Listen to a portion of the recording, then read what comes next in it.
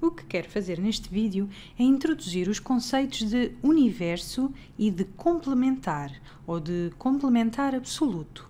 O universo é um conjunto onde se encontram todos os resultados possíveis de uma experiência. Se quisermos recorrer a diagramas de Venn, o universo é geralmente representado por um retângulo e costuma ser identificado por um S maiúsculo ou por um U maiúsculo ou ainda pela letra grega ômega, também ela maiúscula. Aqui vou usar o ômega para evitar confusão com outros usos das restantes letras. Dependendo do tipo de experiência que estamos a considerar, o universo pode ser um conjunto de todo o tipo de coisas. Podemos estar simplesmente a falar de números, mas também de animais da quinta, utensílios de cozinha, emoções ou até tipos de comidas. Pode ser um conjunto com o que quer que seja, contanto que sejam todos os resultados possíveis de uma determinada experiência. Mas para já vamos abordar isto em termos abstratos. Vamos então considerar que temos um universo e nele está contido um subconjunto que vamos designar por A. Toda esta área sombreada aqui representa o conjunto A.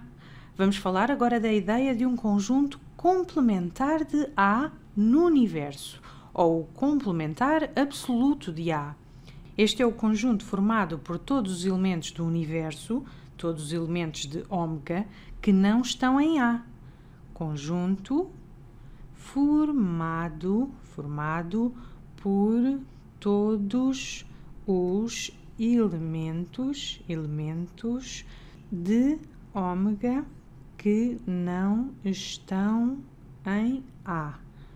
No outro vídeo já vimos outras formas de expressar isto, embora ainda não falássemos do universo. O conjunto formado por todos os elementos do universo que não estão em A também pode ser representado por o universo menos A.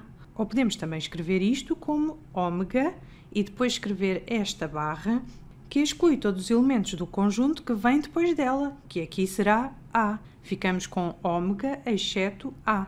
Então, neste diagrama de Venn, como representamos este conjunto complementar de A? Bom, corresponde a tudo o que está neste retângulo, tudo o que está em ômega, mas não está em A.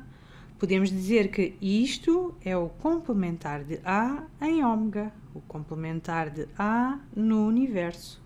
Mas quando falamos de um complementar de um conjunto em relação ao universo, este é um complementar absoluto e costuma ser designado apenas por complementar. Portanto, quando dizemos apenas o complementar de um conjunto, falamos no complementar desse conjunto em relação ao universo. Neste caso, quando falamos do conjunto formado por todos os elementos do nosso universo que não estão em A, dizemos apenas que se trata do complementar de A. Agora vamos ver um exemplo concreto, recorrendo a conjuntos de números. Mais uma vez, os nossos conjuntos poderiam ser formados por personalidades da televisão, ou por animais, ou o que quer que fosse mas vamos recorrer a números. Parece-me mais fácil não só pela escrita, mas também para clarificar estes conceitos. Digamos que o nosso universo é formado pelo conjunto dos números inteiros. Vamos escrever apenas ômega, ômega maiúsculo, é igual ao conjunto dos números inteiros. Isto agora é só um pequeno à parte e, ao mesmo tempo, uma revisão.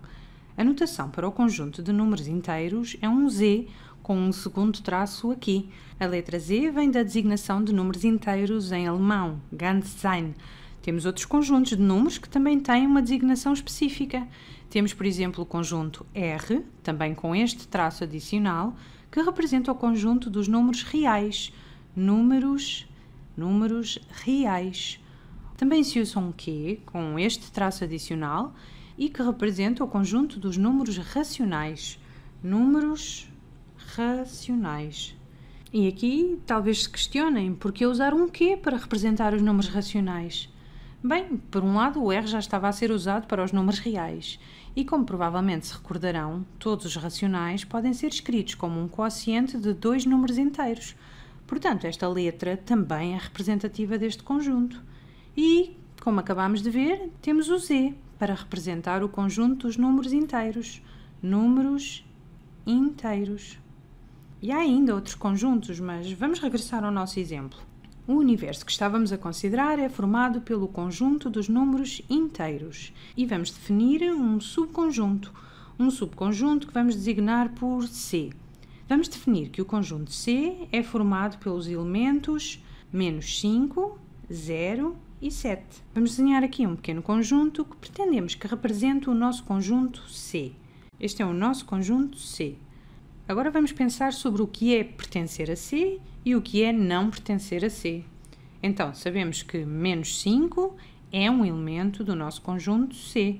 Este símbolo aqui, recordo, significa pertence. Pertence. Usa-se para indicar que um determinado elemento pertence a um dado conjunto. Portanto, menos 5 pertence a C. Sabemos também que 0 pertence ao nosso conjunto C. E sabemos que 7 pertence ao nosso conjunto C. Mas também sabemos mais coisas. Sabemos, por exemplo, que o número menos 8 não pertence ao nosso conjunto C. Recordem que o símbolo de há pouco, cortado desta forma, significa o contrário, significa que um elemento não pertence ao conjunto. Sabemos também que o número 53, por exemplo, não pertence ao nosso conjunto C. O 53 há de estar alguns por aqui, dentro do universo, mas fora de C. Sabemos que o número 42 não pertence ao nosso conjunto C. O 42 poderá estar alguns por aqui. Agora vamos pensar sobre o complementar de C. O complementar de C, que é a mesma coisa que o nosso universo menos C, é a mesma coisa que ômega menos C. E o que também é a mesma coisa que o complementar de C no universo, ou podemos dizer ômega exceto C. Estas são todas notações equivalentes. Primeiro que tudo, o que é isto? O que é o complementar de C no nosso diagrama de Venn? Bom, é tudo isto, tudo o que está dentro do retângulo, dentro do universo, mas fora do nosso conjunto C. E agora reparem, como sabemos que menos 5 é elemento C, pertence a C, ele não pode pertencer ao complementar de C. Então, menos 5 não pertence ao complementar de C. Também o zero não pertence ao complementar de C. Zero pertence a C, logo não pode pertencer ao complementar de C.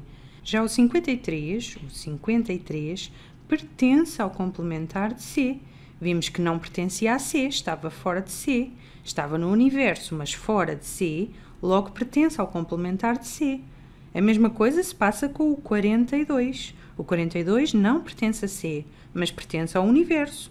Logo, o 42 também pertence ao complementar de C. Espero que estas noções tenham ficado claras.